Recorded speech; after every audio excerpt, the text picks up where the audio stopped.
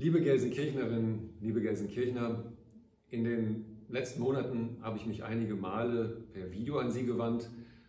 Heute ist es das letzte Mal, denn am Sonntag endet meine Amtszeit nach 16 Jahren. 16 Jahre, das war eine spannende Zeit, eine aufregende Zeit, teilweise auch eine sehr stressige Zeit, aber es war eine Zeit, die ich nicht missen möchte, weil wir haben eine Menge auf den Weg gebracht. Wir haben alle Schulen ans Glasfaser gebracht, das Ende der Kreidezeit in unseren Schulen eingeläutet, die Arbeitslosenquote im Vergleich zu 2004 halbiert.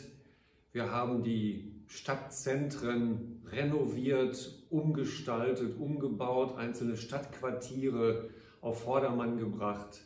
Es ist eine Menge passiert in diesen 16 Jahren. Diese Amtszeit geht jetzt zu Ende. Und als jemand, der in Gelsenkirchen geboren wurde, der hier zur Schule gegangen ist, aufgewachsen ist, war es für mich schon eine große Auszeichnung und ja auch eine Ehre, Oberbürgermeister dieser Stadt zu sein. Ich hätte es nirgendwo anders sein wollen. Am Ende dieser 16 Jahre bleibt mir ganz vielen Bürgerinnen und Bürgern zu danken für Rückmeldung, für Unterstützung, für Engagement, die gar nicht gefragt haben, sollen wir was tun, sondern es einfach getan haben. Das hat immer Freude gemacht, ins Gespräch zu kommen und das mitzuverfolgen. Wünschen würde ich mir, wenn die Gelsenkirchnerinnen und Gelsenkirchner pfleglich mit ihrer Stadt umgehen, ein Stückchen stolz auf das sind, was diese Stadt bisher geschafft hat, trotz aller Schwierigkeiten und aller Rückschläge ein bisschen häufiger das Glas halb voll zu sehen als halb leer. Und äh, zeigen Sie weiter Haltung.